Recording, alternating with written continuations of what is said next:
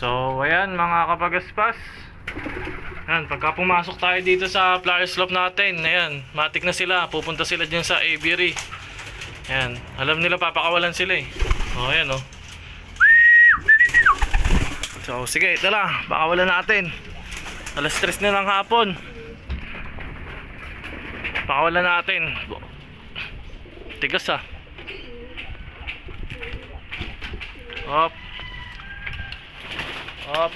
Wait lang. Let's go. Ayun na.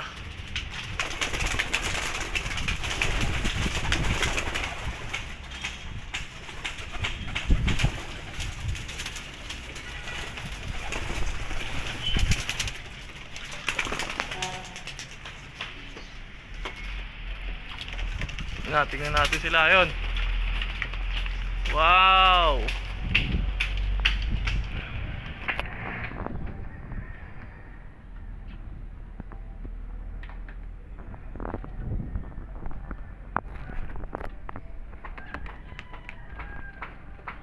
Saan na? Nawala na ito.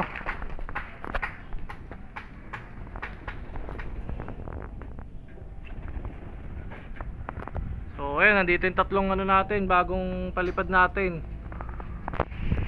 So, ayan, dyan lang sila. Yan, pag trip nila rumonda, dun pa lang sila roronda. Ano, saan na? Nawala na. Ayun na, sa dulo na oh. Layo. Kita nyo ba?